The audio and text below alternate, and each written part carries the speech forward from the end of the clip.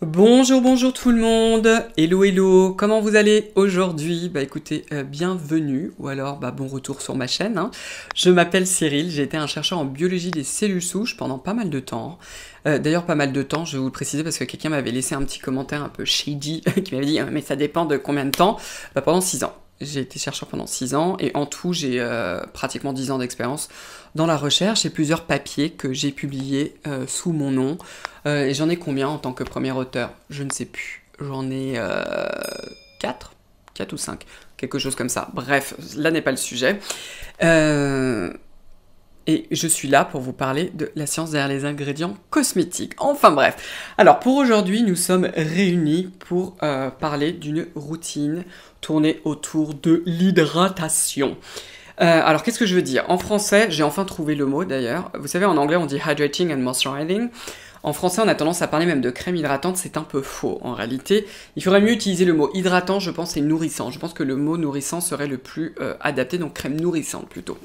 L'idée de l'hydratation, en fait, c'est d'augmenter à la surface de votre peau la teneur en eau. Qu'est-ce que ça veut dire? C'est-à-dire que ce que vous touchez avec votre doigt, ça, ça s'appelle la barrière cutanée, qui est aussi connue en, biologie, on l'appelle le stratum corneum, qui est en fait la dernière couche de votre épiderme.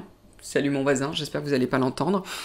Et cette couche-là, en fait, c'est un peu comme une couche hermétique, c'est une, une barrière entre le milieu extérieur et le milieu intérieur. Et juste dessous, en fait, entre le stratum corneum et le reste de votre épithélium, de votre... euh, oui, on l'appelle l'épithélium, Cyril, de, de votre épiderme, euh, il y a en fait une espèce de couche de graisse où il y a encore aussi des cellules mortes qui forment vraiment euh, quelque chose de très très imperméable. Est-ce que c'est 100% imperméable? Non. On a toujours ce qu'on appelle en français la perte insensible en eau, c'est-à-dire qu'on a toujours de l'eau qui s'évapore naturellement. Si on en a trop, ça devient pathologique et on a une peau sèche ou on, peut, on a carrément euh, de l'eczéma. Pour certaines personnes qui ont de l'eczéma, c'est comme ça, ça peut être du psoriasisme, etc. Mais naturellement, en tout cas, on a une perte normale en eau. Évidemment, plus elle est énorme et plus la peau est sèche. Ce qui veut dire qu'à la surface de votre peau, ce que vous touchez, donc, la concentration en eau va être la même que celle qui est dans votre environnement, tout simplement. Euh, sachant que quand même c'est régulé par ce qu'on appelle des humectants naturels, qu'on appelle les facteurs naturels d'hydratation. Malheureusement, l'énorme partie, à vrai dire, des cosmétiques sur le marché, dont tous les produits dont je vais vous parler aujourd'hui, hein, euh, bah, contiennent des molécules qui sont hydratantes, qui sont des humectants, qui attirent l'eau et en fait qui vont l'emprisonner du produit en lui-même. Mais c'est rarement en fait des produits euh, bah, qui contiennent des ingrédients naturels à votre peau. hein. Quand je dis naturel, c'est que votre peau produit, qu'elle utilise quoi. Bref, parenthèse fermée.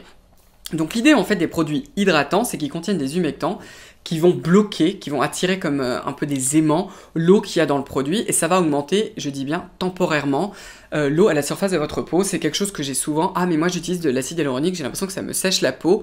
Je l'ai plus d'ailleurs sur mon compte en anglais, c'est assez marrant cette réflexion. Souvent la raison c'est parce que vous n'utilisez pas après quelque chose qui va emprisonner cette eau. Tous ces humectants là, ils vont avoir une action euh, que pendant un temps assez court et au bout d'un moment, eh ben, l'équilibre hydrique, l'équilibre en eau va se rétablir et s'il y a 50% d'humidité dans votre environnement, ce sera la même chose à votre surface de votre peau. J'espère que j'ai été clair.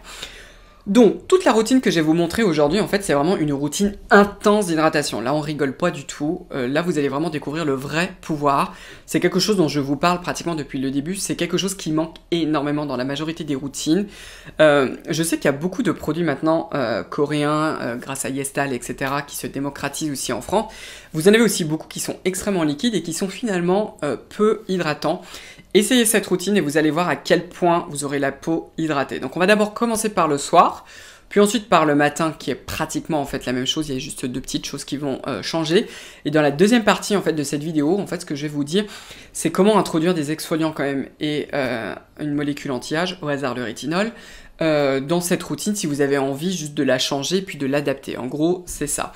Donc, on va commencer d'abord par le soir, parce que c'est, euh, ça va être peut-être le plus simple. Donc, le soir, évidemment, ce qu'il faut commencer à faire, c'est le double nettoyage. J'ai toute une vidéo sur le double nettoyage où je vous explique euh, pourquoi. Les deux produits que je vais vous montrer, est-ce que vous êtes forcément obligé d'utiliser les deux? Non, mais c'est ceux que j'aime beaucoup. Donc le premier, c'est une huile démaquillante, je vous en ai parlé dans mes favoris du mois de janvier, euh, que j'aime beaucoup, c'est celle dont je me sers le plus, qui s'appelle la Softimo, la Speedy Cleansing Oil. Celle-ci est en édition euh, limitée.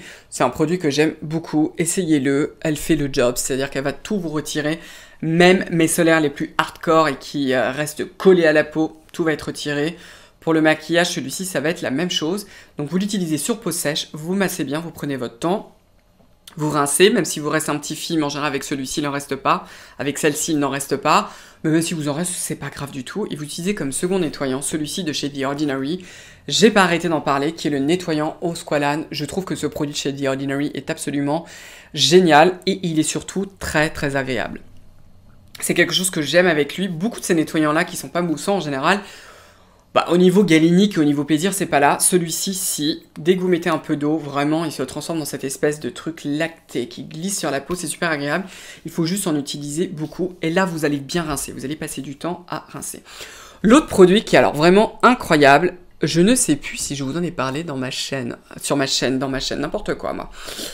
Là, là, français approximatif du jour, bonjour.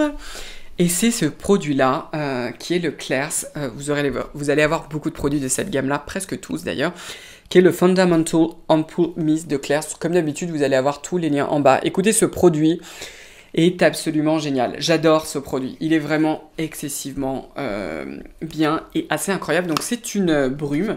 Je vais vous la montrer. Je vais essayer de ne pas la respirer. C'est pour ça que je me recule. Regardez. Alors j'en ai presque plus. Elle est extrêmement fine. Voilà, on va éviter de respirer ça. D'ailleurs, avant que j'oublie, tous les produits qui sont aujourd'hui sont tous sans parfum, tous sans huiles essentielles, tous sans huile euh, essentielle. Donc ce sont des produits qui sont non irritants. Et ça, on aime. Hein on aime même beaucoup. Bref. Donc cette euh, brume-là, écoutez, si vous, si vous me demandez, là sur le marché, actuellement parlant, quelle est la brume, qui est en réalité en fait un tonique hydratant, hein, euh, la plus hydratant sur le marché, pour moi c'est celui-ci. Euh, il y a juste un seul lipide qui est une céramide, qui est la céramide NP. Est-ce que je pense que là-dedans il y a une concentration suffisante? La réponse est non, hein, je vous le dis tout de suite. Je pense que c'est plus là euh, pour le fun. C'est assez incroyable de trouver euh, un produit en fait aussi hydratant. Hein.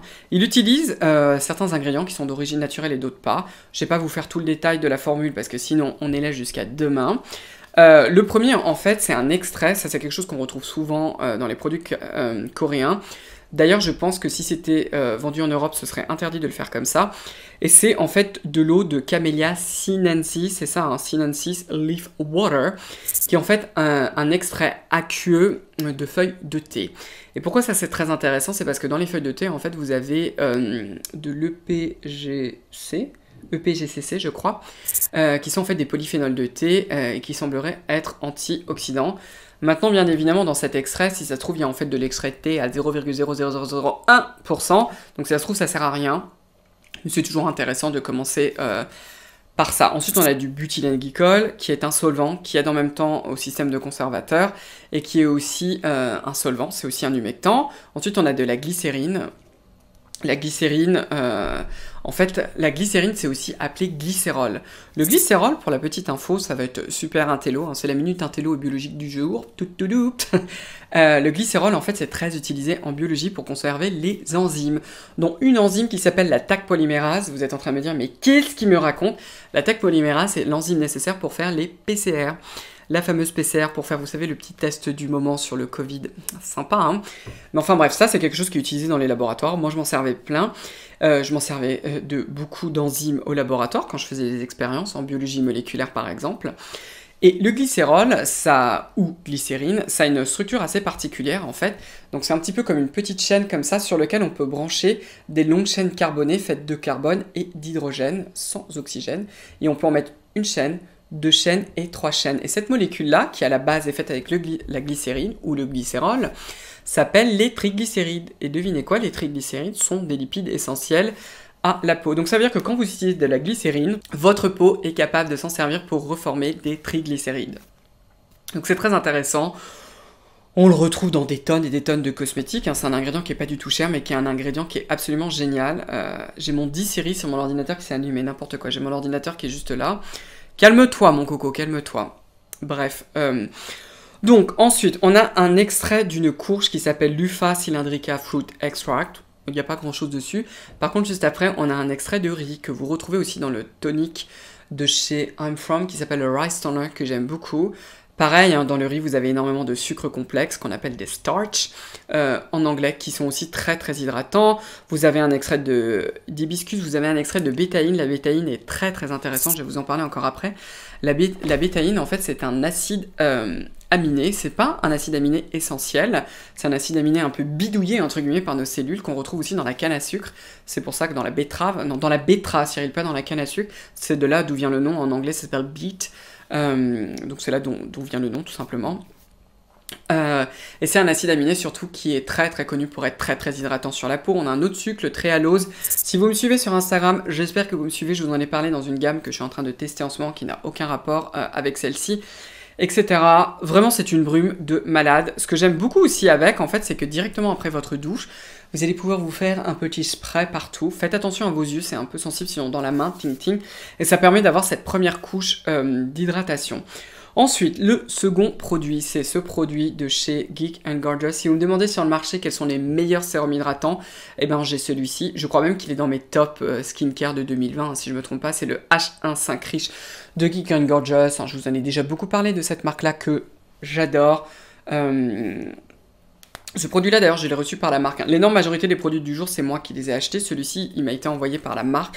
Je connais la créatrice qui s'appelle Judith, que j'aime beaucoup. C'est une femme extraordinaire, extrêmement intelligente au passage.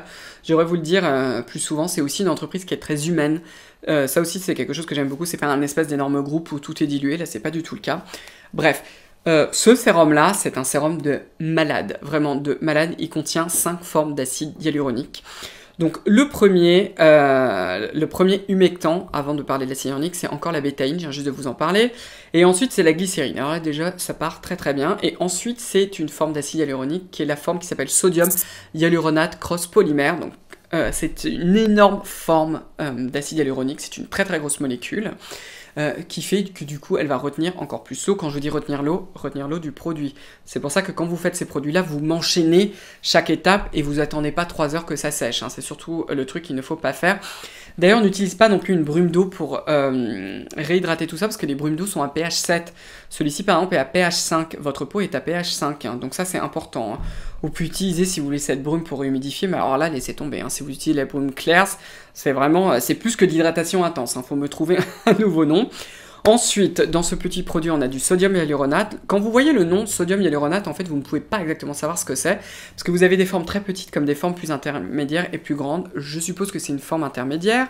Ensuite, on a un extrait d'un champignon qui s'appelle le Tremella euh, fusiformis. Euh, extract, qui est donc un champignon, et cet extrait-là, normalement celui qui est le plus utilisé, c'est ce qu'on appelle un polysaccharide complexe. Donc là, c'est un sucre complexe qui, là encore, va énormément euh, absorber l'eau, excellent humectant. Et ensuite, vous avez une forme hydrolysée d'acide hyaluronique. Il faut que je vous fasse cette vidéo, parce que j'ai déjà faite en anglais. Euh, cette forme-là, chez certaines personnes, peut être pro-inflammatoire. Typiquement, si vous souffrez de rosacée, une rosacée qui a été diagnostiquée, etc., je ne vous le euh, recommande pas. Je sais pas ce que j'ai aujourd'hui, je glisse de ma chaise, c'est n'importe quoi, je, me tasse, je me tasse. Bref, euh, vous avez aussi du panthénol, le panthénol qui est aussi connu sous euh, sous le nom de provitamine B5 qui est aussi extrêmement hydratante. Et le reste des ingrédients, c'est pour la texture, le conservateur, euh, un petit, euh, comme on appelle ça, deux petits solvants qui aident aussi avec le système de conservateur. Qu'est-ce qu'on a encore? De la sodium hydroxyde qui est de la soude. Oui, vous avez de la soude dans vos cosmétiques. Et c'est pour le pH, donc pas d'inquiétude. Enfin bref, cette formule, c'est de la bombe. Vraiment, c'est de la bombe. Ensuite, le prochain produit. Le prochain produit, c'est aussi un des produits euh, les plus hydratants que je connaisse. C'est un truc de malade. Vraiment, celui-ci, il n'y a pas d'autre mot, c'est un truc de malade. C'est le Claire's, le Fundamental Watery Oil Drop. Il y a le mot oil qui veut dire huile en anglais. Euh, il ne contient presque pas euh, de lipides. Hein. Le seul qu'il y a dedans, c'est encore de la céramide NP faut que je vous fasse une vidéo sur les céramides. Je sais, j'arrête pas de le dire, mais j'ai trop de choses à faire. Alors c'est difficile. Bref, c'est extrêmement, extrêmement hydratant celui-ci. Là, c'est pas de la rigolade comme on dit. Là encore, vous avez de la glycérine, du butylène glycol, vous avez un extrait de, de feuilles de thé potentiellement antioxydant. On retrouve exactement en fait comme la brume cet extrait euh, aussi de riz. Et ensuite que vous avez, ça c'est pour toi euh, Satya si tu regardes la vidéo, c'est Bifida Ferment Extract. Euh, d'ailleurs, Satya, c'est Satya Beauty sur Instagram. Oui, j'arrête pas de parler d'elle, mais on s'adore, alors c'est comme ça. Euh, cet extrait de, Bifida, vous le retrouvez dans le sérum d'Estée Lauder, le Night Repair. Vous pouvez d'ailleurs aller voir euh, ma vidéo si vous voulez avoir la compo, etc. Bon, je ne connais pas la, composition exacte. Ensuite, on a un autre, on a un autre sucre complexe qu'on appelle le sorbitol. On a d'autres extraits fermentés comme Aspergillus rice ferment, par exemple, Aspergillus étant, je crois que c'est une bactérie ou c'est une levure, je ne sais plus. Non, c'est une levure de souvenir, c'est une levure, ça fait partie du règne des champignons. Euh, j'oublie ma biologie, moi, ça ne va pas. Euh, qu'on retrouve sur le riz et qui est utilisé d'ailleurs en, Corée pour faire la fermentation du riz. Bref, euh, ces extraits fermentés semblent avoir un effet bénéfique sur la peau. Il y a peu de données scientifiques. Vous avez aussi un peu d'acide hyaluronique. Enfin bref, c'est humectant land. Déjà, rien qu'avec ça, en utilisant la petite brume, le petit sérum HA5 de chez Geek Gorgeous, et ensuite euh, le clair, vous allez avoir la paume, alors repulpée, un truc de fou, je vous le dis, hein, vraiment un truc de malade. Vous pouvez le voir au moment où vous allez me faire ces différentes étapes. N'attendez pas, comme je vous ai dit, vous allez voir vraiment votre peau qui se regonfle. Ce côté vraiment repulpé, plumpy de la peau, ça vient de là. Donc ensuite, évidemment, et ça c'est l'erreur la plus courante, c'est que les gens ne vont pas utiliser quelque chose pour bloquer cette eau à la surface, en utilisant des émollients, c'est-à-dire une crème nourrissante, qu'on appelle souvent crème hydratante. Ça, c'est vraiment important. Évidemment, ça va dépendre de votre type de peau. Si vous avez une peau plutôt normale à grasse, plutôt à mix, déjà rien qu'avec ces produits-là, ils sont tellement humectants que probablement que ce sera suffisant. Regardez. Ceci étant dit, moi évidemment, je, suis toujours dans l'excès d'hydratation parce que vous allez voir à quel point ça va transformer votre peau. Donc j'ai trois produits.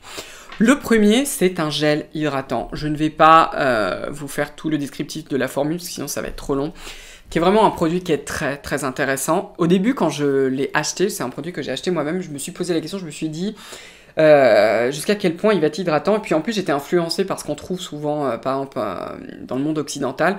Souvent, les gels hydratants, ils sont pas du tout hydratants, soyons clairs. C'est vraiment très temporaire, tout s'évapore et après, on est là et on a de nouveau la peau sèche. Donc ça, c'est quelque chose qui me plaît pas. Ce n'est pas le cas de celui-ci. C'est encore humectant, land. C'est ce produit-là de chez I'm From qui s'appelle le Vitamin Tree Water Gel dont la texture est sublissime. J'ai oublié de la montrer dans ma vidéo en anglais. Vous en avez toujours plus, c'est tout. Euh, la texture, elle a un peu changé parce que le mien est un peu, vieux. Comme vous pouvez voir, je l'ai pratiquement euh, terminé. Et c'est vraiment une texture euh, qui est, comment vous dire C'est un gel presque un peu épais qui est très agréable. là, il est un peu séché maintenant, mais qui est très agréable à utiliser. Ce qui est assez fou, c'est qu'il a cette espèce de film d'hydratation sur la peau alors qu'il ne contient pas d'émollient. C'est ça qui est assez fou et là encore, il est très très euh, hydratant. Donc c'est c'est assez incroyable. Ce produit est super bien fait. Le second, c'est encore un gel hydratant qui là encore va avoir un côté très très frais euh, sur la peau, dont la texture et comment dire, est encore plus liquide pour ainsi dire. Le packaging est détestable au passage, mais j'adore ce produit, qui est là encore de chez Claire's de la gamme Fundamental Watery, et c'est le Gel Cream, ce produit-là. Comme toujours, vous, avez, vous allez avoir tous les produits dans la description. Ce produit, pourquoi je n'aime pas le packaging? Parce que c'est extrêmement liquide. Euh, donnez-moi une pompe, s'il vous plaît, Claire's. Je vais vous montrer la texture, qui est mais extrêmement bien faite. C'est ce genre, euh, ça ressemble en fait un peu à ces laits japonais, vous savez, c'est extrêmement aqueux, ça s'étale, c'est un pur bonheur, vraiment. Quand vous le mettez, moi c'est ce que j'appelle une texture moderne, que j'aimerais bien qu'on ait un peu plus souvent, aussi dans les marques françaises, s'il vous plaît. Hein. on n'est plus en 1920. Est-ce qu'on peut avoir des textures modernes? Bref, la, texture est vraiment euh, excellente, super bien faite. Ça glisse vraiment sur la peau. C'est un pur bonheur ce produit-là. Et il a des émollients, je vais vous donner euh, les noms avant que je les oublie, c'est éthylhexyl palmitate et l'autre c'est cétyl éthyl hexanoate. Donc c'est vraiment la juste dose. Euh, pour les peaux grasses, je pense que vous allez l'adorer celui-ci. Ce qui m'a poussé en fait à l'acheter, c'est James Welch, si vous voulez savoir. Quand j'ai vu la composition, je me suis dit, ouh, il est pas mal. J'ai vu James Welch en servir, je me suis dit, ok, j'en ai besoin maintenant. et donc je l'ai commandé, c'est vraiment un excellent produit. Il est extrêmement bien. Maintenant, pour celles et ceux d'entre vous, vous êtes plutôt team, j'ai envie d'avoir plutôt une crème dont la texture est sublissime, qui va être aussi un peu plus nourrissante, parce qu'il y a un peu plus d'émollient. Il y a celle-ci, qui est chez moi un grand classique que j'utilise depuis des siècles, depuis qu'elle est sortie. Dès que j'ai vu ce produit sortir, bah, en fait, c'était avant que je fasse YouTube, je me suis précipité comme une bête pour aller l'acheter. C'est ce produit encore de chez Claire's qui s'appelle le Midnight Blue Calming Cream, ce produit-là. Euh, comme vous pouvez voir, aujourd'hui, on a beaucoup de produits euh, de Corée du Sud qui sont des produits que j'adore. Euh, celui-ci, écoutez, c'est la parfaite balance entre émollient encore et humectant. La texture est sublime, il y, a une jolie, couleur bleue qui vient en fait du guazulène. Le guazulène, euh, c'est un extrait en fait de la camomille. La camomille est connue pour être euh, une plante qui est calmante pour la peau, tout au moins. Euh, et le guazulène est censé l'être aussi. Je vous dis censé parce que c'est un peu mission impossible pour trouver des articles dessus, mais ça a l'air d'être quand même le cas. C'est de là dont vient la couleur. Donc la texture, en fait, c'est ce genre de gel crème, là encore, qui ont un côté presque un peu beurré en texture. La texture est extrêmement bien faite et ça s'étale. C'est un pur bonheur. Et en même temps, ce n'est pas du tout une crème grasse. Euh, franchement, là encore, on est sur une texture extrêmement moderne. Vous l'avez en deux formats, en 30 ml et 60 ml. Évidemment, moi je vous recommande le 60 ml. L'autre chose aussi que j'ai oublié de vous dire, hein, c'est que le gel, là, vous avez, je crois, 70 grammes, 75 grammes. Euh, celui de chez Claire's, on est à combien, mon petit? On est à 70 ml. Et là, on est à 60 ml. Euh, moi, pour ce genre de produit-là, surtout pour les crèmes hydratantes, gel hydratant, etc., j'en veux beaucoup parce qu'on en a besoin de beaucoup. Ces trucs-là ridicules, minuscules, là, de 50 ml, ça m'énerve. Bref, hein, si demain je devais vous sortir ma crème hydratante, elle serait en 100 ml, ça c'est sûr. Hein. Bref, si vous avez quand même une peau euh, beaucoup plus sèche, probablement que ça, ça ne va pas vous convenir. Ou si vous vivez dans un endroit où il fait très froid, ou si vous passez beaucoup de temps en ce moment dehors, vous allez sans doute avoir le visage plus sec. Donc probablement que vous allez avoir besoin de plus costaud. Il y a une crème aujourd'hui euh, que j'aime beaucoup, qui je pense sera d'ailleurs dans mes favoris du mois de février. C'est celle-ci de chez Paula Choice dans la gamme Resist. Alors, elle a du rétinol, mais elle n'en a pas assez pour vous irriter, donc pas d'inquiétude, vous pouvez commencer tous les jours comme des barbares, il n'y a pas de problème. Et c'est l'Intensive Repair Cream with Retinol, celle-ci, qui est pas mal du tout, franchement. Très très intéressante, euh, j'aime beaucoup. Euh, un des émollients que vous avez dedans, c'est de l'huile de jojoba, euh, qui a la caractéristique en fait d'avoir un profil lipidique assez proche de notre peau. Et donc voilà pour le soir, ça c'est la routine du soir. Maintenant pour le matin, pour le matin ça va être en réalité exactement pareil, ça, va pas être la peine de changer grand chose. La seule chose, ça je vous l'ai déjà dit, hein, allez voir mes, vidéos sur le nettoyage, comment préparer sa peau le matin. Est-ce que vous avez vraiment besoin de vous nettoyer le visage le matin C'est toujours la même chose Peut-être pas. En tout cas, euh, vous avez le même nettoyant que pour le soir, le Squalane Cleanser. Euh, le nettoyant en squalane de chez The Ordinary qui est une bombe. Vous pouvez aussi vous en servir le matin. Hein. Vous vous rincez le visage, vous en mettez une quantité généreuse, vous massez bien. Et ça peut aider, si le matin vous vous réveillez avec ce film lipidique, ça peut très très bien aider à le euh, rincer pour préparer la peau. Et ensuite, c'est exactement la même chose. Vous me mettez d'abord la brume, ensuite le Geek and Gorgeous, le HA5 Rich, et ensuite le Fundamental Water All Drop. Est-ce que vous avez besoin d'une crème hydratante? Probablement pas. Là, je vous laisse euh, le choix. Franchement, euh, c'est vraiment pas obligatoire. Par contre, ce dont vous avez bien évidemment besoin, c'est d'une délicieuse crème solaire. Donc, euh, vous avez de la chance. Hein. J'ai présenté exactement les mêmes en anglais. Je crois que j'ai à peu près 30% de mon audience qui vivent aux États-Unis, donc les pauvres ils vont avoir du mal à le trouver. Par contre, pour vous, ça va être simple parce que tout doux, ils sont français. Ces deux solaires, donc ce sont ceux de chez SVR. Je vous en recommande deux, un pour le contour des yeux et un autre pour le visage. Donc pour celui pour le contour des yeux, c'est le SVR, le Cicavit crème SPF 50+. Alors je sais, euh, Cicavit c'est la gamme euh, réparatrice pour aider à la cicatrisation de la peau. Il n'empêche que leur crème solaire est super pour tous les jours. Et pour le contour des yeux, je l'aime beaucoup parce que ça va vraiment vous replumper le dessous des yeux. Donc tous les produits dont je vous ai parlé, vous les mettez aussi sur le contour des yeux sans aucun problème. Et si le matin vous n'avez pas besoin d'une crème hydratante aussi sur le contour des yeux, ce qui est probablement le cas, juste après avoir mis la Water All Drop, qui ne contient pas euh, de lipides, by the way, hein, vous pouvez mettre euh, la Cicavite immédiatement, vous allez voir à quel point ça va vous replumper le contour des yeux, et puis vous y allez. Hein. Celle-ci ne pique pas les yeux chez la majorité des gens. Pour le reste du visage, allez voir ma vidéo sur les meilleurs solaires de chez SVR, je vous fais tout le détail de ces solaires. Vous avez la Sensifine AR, la crème SPF 50+, qui est aussi très élégante et pas trop grasse, c'est ça que j'aime, parce que euh, pour trouver une crème pour le quotidien, européenne, qui soit pas trop grasse, etc., c'est difficile. Hein. Pourquoi est-ce que j'ai voulu vous montrer ces deux-là? Parce que pour moi, ce sont vraiment des solaires universels, pratiquement, que vous allez pouvoir euh, utiliser sur la majorité euh, des gens, parce qu'ils n'ont pas d'avobenzone, pas d'octocrylène. Donc si vous êtes sensible, euh, souvent en crème solaire qui contient des filtres organiques, par pitié, me dites pas chimique, même si on le lit partout, même si les dermatos le disent, mais c'est parce qu'ils y connaissent rien. Bref, euh, ces solaires-là euh, sont vraiment excellents pour le quotidien. Franchement, ils sont assez incroyables. Si vous avez la peau sèche, vous pouvez même utiliser la Cicavite sur tout le visage.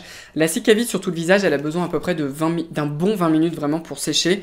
Mais ça, ce sont d'excellents solaires et surtout, ils ne sont pas blanchissants. Donc, quelle que soit votre couleur de peau, parce que oui, je pense à vous qui avez euh, la peau noire, vous allez pouvoir vous servir de ça.